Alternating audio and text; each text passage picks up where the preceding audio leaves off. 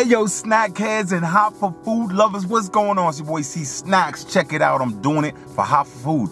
That's why I'm doing it. That's why I'm doing it. You think you let me chill out. Okay, let me chill out. Just simmer down, cause I got some dope items on the menu for you.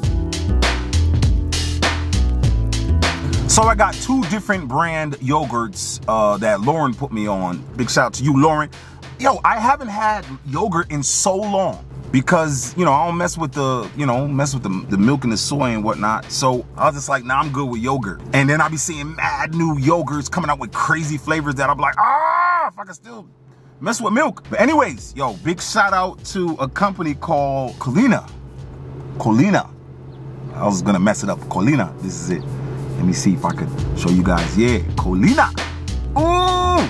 Yo, this is a plant-based, dairy-free bourbon vanilla flavor yogurt. And it's probably woman owned. You go, girl. You go. Look how special the package is. They care. Look at that. They put it in a nice glass jar. Look at that. And it's just so easy. Oh, big shout out to you, Culina. Culina. I like that name, Culina. So it's vegan, dairy free, and it's a paleo uh, type diet. Yeah, man. It's crafted and fermented 18 hours. Ooh, it's real thick. So it's saying you got a nice sturdy spoon for it. So I was in a grocery store for a while doing some grocery shopping. It was sitting in the back of the trunk for a while. So I took it, put it in the freezer for a little bit. So it might be a little thicker than normal. Let me see, I got my little, uh, little spoon. I got this from Whole Foods. Let's crack it open. Okay, it was easy to open. You know, sometimes it'd be hard. It'd be like, you be, you be struggling. Struggling.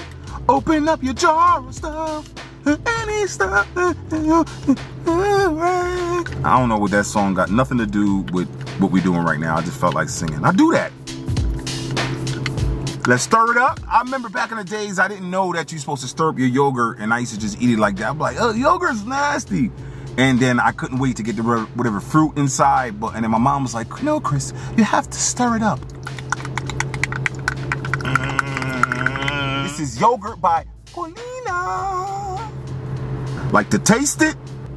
Yo, it's crazy. It smells just like regular milk yogurt. Big shout out to you, Culina. Like to taste it? Here you go. Mm.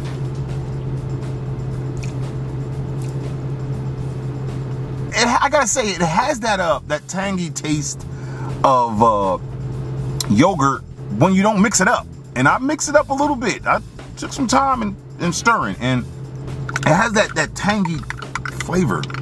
That's crazy how this is not dairy, no milk at all. Gluten-free, vegan, whatnot, plant-based, and it tastes just like yogurt, B.